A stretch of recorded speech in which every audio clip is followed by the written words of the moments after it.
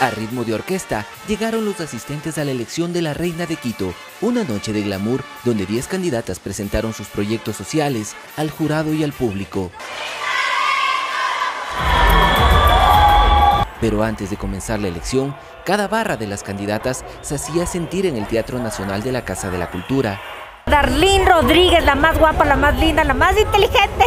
Estefanía Álvarez, porque es una mujer súper inteligente, súper simpática, súper carismática. A Luisa Ey, porque es una niña que reúne muchos requisitos para ser reina de Quito.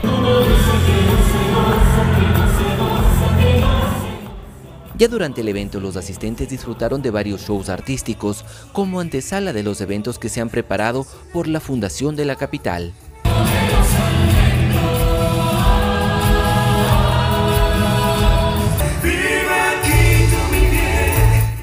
Las mujeres que aspiraban la corona se presentaron con traje casual y de gala.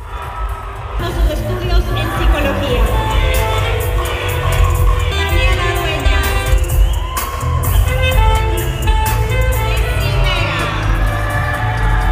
Tras la presentación llegó la jornada de preguntas. Las chicas debían hablar del proyecto en beneficio de la ciudad en el que trabajarían durante un año si ganaban. Poner sus habilidades, demostrarnos su talento y ayudarnos a mantener tradiciones quiteñas.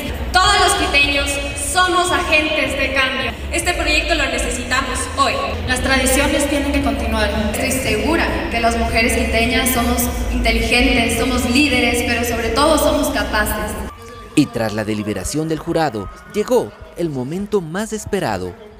Luisa Edith Vázquez, de 23 años, fue escogida como señorita Amistad y Confraternidad. Doménica Lessi, de 19 años, como señorita Simpatía. Dominique Quiroga, de 25 años, fue escogida virreina de la capital. Y a sus 24 años, Estefanía Álvarez Gordillo, licenciada en Comunicación y Relaciones Públicas, se convirtió en la reina de San Francisco de Quito 2021-2022.